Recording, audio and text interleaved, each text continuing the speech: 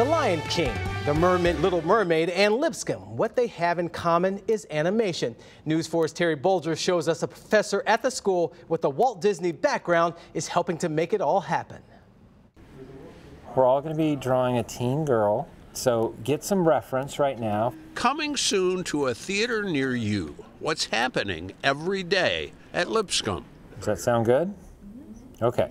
Tom Bancroft worked years for Disney, created Mushu the dragon in Mulan. I'm leaving this up to you guys. So. Now, as a professor of animation, he creates a future for his students. Or at the very least, get a job in the industry. And that could be Disney or Pixar, Nickelodeon, Cartoon Network.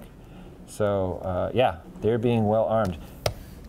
The hand drawn cartoon lines with COVID needed now more than ever in Hollywood. Live action films have shut down, they can't shoot, and, but animation can continue. So it's never been better time to get into animation.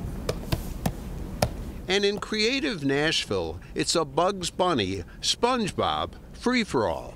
I'm feeling super sporadic today, so I'm just going off of my classmates and being oh. inspired by them. Haley Mullins graduates in May, ready to draw.